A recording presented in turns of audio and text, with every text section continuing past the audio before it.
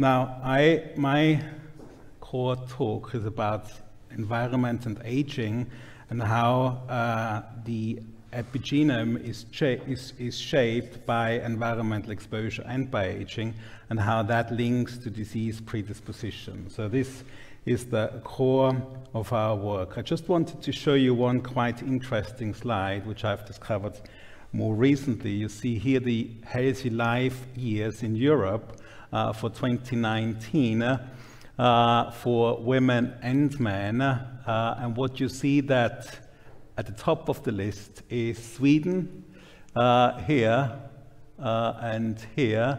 And Austria, unfortunately, is very, very low down here. So you see Austria here, um, which obviously is not very encouraging, but nevertheless, it will provide us with uh, a lot of energy to get high up. Uh, and part of our work is what we're doing. What we can and what we can't modify is very, very simplistically modified here. We see that nutrition, smoking, alcohol, exercise all impact on our aging, disease, and lifespan. There's factors which we can partly modify, which is our environment, social factors, and medical care. And there are factors which we can't modify directly, which is the genetic factors. So all these different factors impact on aging, disease, and lifespan.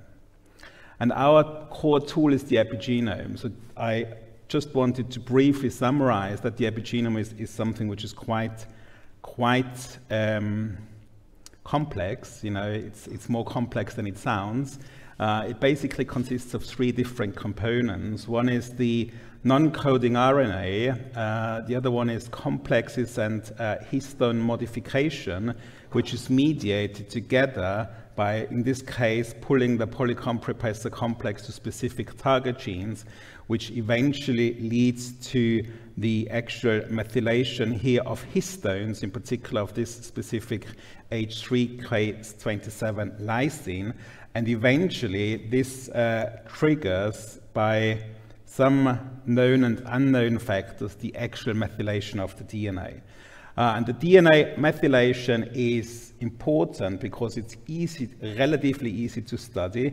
Uh, you see here the cytosine on the right-hand side, and the cytosine becomes methylated, which is a covalent modification of the DNA, and hence DNA methylation amongst all the three different components uh, is the easiest uh, target to study the epigenome. So we are completely focusing on DNA methylation when we, when we talk about epigenetic modification. And obviously, as I've mentioned before, the epigenome is modified by the age, but also by the way how we are getting exposed to our environment. Lifestyle of our ancestors is one, not very well studied, but there is uh, some evidence that even if our grandfathers had smoked or suffered from various other conditions, uh, it eventually is uh, reflected in our epigenetic setup. Nutrition during pregnancy is something which is completely understudied. Uh, genetic background, reproductive factors, environmental exposures, and lifestyle. And all these factors lead to uh, epigenetic misprogramming, uh, as we refer to, and in our case, we are mainly interested in cancer leads to specific disease predispositions. And obviously, to study the epigenome, which is tissue specific, this is something which is really, really important. It's not like the genome, uh, where you study any type of cell which is reflected for your genome, and it's more or less the same in each single cell of your body. The epigenome is tissue specific. So, in order to utilize uh, the epigenome to disease prediction, for disease predict prediction, we need to either get access to the cell of origin, uh, but as you can see here, it's difficult because, for instance, how would you be able to get access to the fimbriae, uh, which are the cell of origin for ovarian cancer? So what we have started to do is to utilize surrogate tissue, which is uh, a epithelial cell which is easy to access and hormone sensitive, uh, which is the cervical epithelial cell. What we were interested in uh, the first stage of HEAP is how does age impact on the epigenome? So we've devised, based on, this, on, a, on a sample set, on a large sample set that we've collected within the previous uh, European uh, program called 4C, a large number prospectively collected cervical smear samples and developed and validated uh, a general epigenetic clock, which is a combination, a linear combination of 759 CPGs, so the methylation status of these 759 CPGs. And as you can see, it predicts quite nicely the actual chronological age. So this is the actual chronological age. Um, you see, when we compare this with the numerous other uh, clocks that had been developed, the Horvath clock or the Hannum clock, green and yellow, for instance, that the clock that we had developed, irrespective of the actual tissue where it's applied, seems to outperform the other two clocks. Outperforming means that the absolute error, which is the difference between the predicted and the actual chronological age, uh, is going to be close to or is zero. Um, so this is not too fascinating because obviously that was known already, but what we were interested in is to understand are different tissues aging in, at different paces. And the main two sources of tissue that we find in cervical smear samples are epithelial cells, roughly 50% are epithelial cells and 50% are immune cells. And so what we've done is we've identified those CPGs which exclusively correlate with age uh, but only in the actual immune cells, uh, like you can see here, those are the CPGs uh, which only correlate with age in the immune cells, and then there is the other uh, CPGs which only correlate with age in the epithelial cells. And based on these CPGs, have then developed two different ages, one epithelial clock and one uh, immune clock. And as you can see here, obviously they don't correlate as well as the uh, general tissue independent age, uh, but that variability, I think, is a strength of this uh, signature.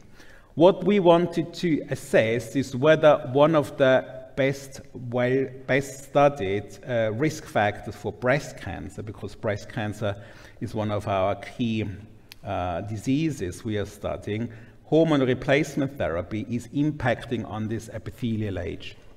As you know uh, from the uh, Women's Health Initiative study, which is uh, one of the few or probably the only randomized clinical trial studying hormone replacement therapy, we know that the combination of estrogen, uh, CEE, and progesterone MPA increases the risk for breast cancer, in particular also for poor prognostic breast cancer like triple negative breast cancers. Uh, and so we asked the question whether HRT here, whether HRT is impacting on the pace of the epithelial aging in cervical smear samples, uh, which is acting as a proxy and as a surrogate for epithelial aging in general.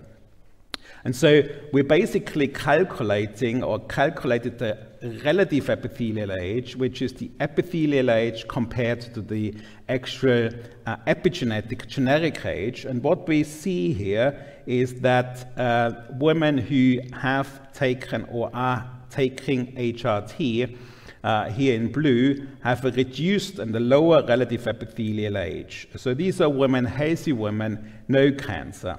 And when you look here in cervix, buccal, and blood, so for a subset of women, small numbers as you can see here, but uh, in these women we saw uh, independent cohorts that uh, not only in the cervical sample, but also in the buccal sample, uh, HRT reduces the actual pace of the aging in epithelial cells compared to the actual general uh, epigenetic age. And nothing, there's no difference at all uh, as expected in the blood. Hence, uh, this is a clear epithelial specific effect that we see.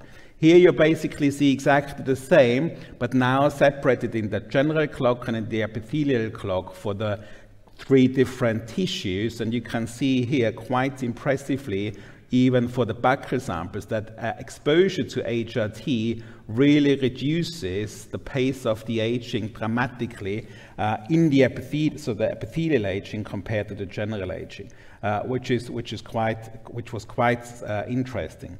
Uh, and you see again here in the blood, there's no there's no there's no difference. What is interesting is when you basically look into women who have just been diagnosed with breast cancer and you have the history uh, of those women uh, with regards to breast, with regards to HRT, those women who were on HRT did not consistently not show this anti-aging effect, which is which is quite interesting. So, in summary, uh, in, as we always try to explain our research results to uh, general audience, we've, we've tried to do a video which acts as a summary. Uh, so if we can just, I don't know whether I can do anything. Over the years, our cells age. Aging can be measured using markers on our DNA called DNA methylation. We have developed a new method to measure aging of epithelial cells, the cells that line our organs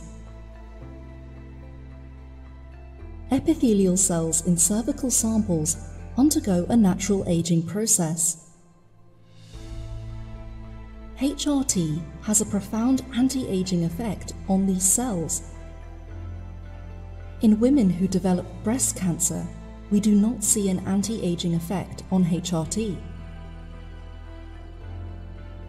Future research will demonstrate whether measuring cellular aging on HRT or other therapies could be used to individualize anti-aging measures and monitor benefits and harms.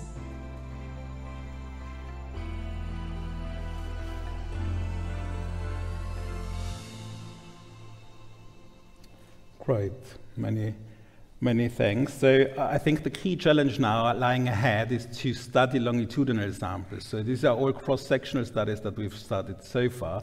We don't know when this anti-aging effect kicks in, uh, whether we can utilize self-samples, which uh, is obviously quite uh, an attractive uh, way of um, moving forward in personalized prevention. Uh, so those are the challenges that are lying ahead, and uh, we hope that within the HEAP consortium we are able to address this. So many, many thanks, in particular to my team, who's done a fantastic job. Like my previous speaker, I'm completely reliant on the team, and I've I've been really, really blessed with a fantastic team. Uh, and also a uh, great pleasure to work with the team in the Karolinska Institute, uh, which is um, led by, by Joakim. Many thanks.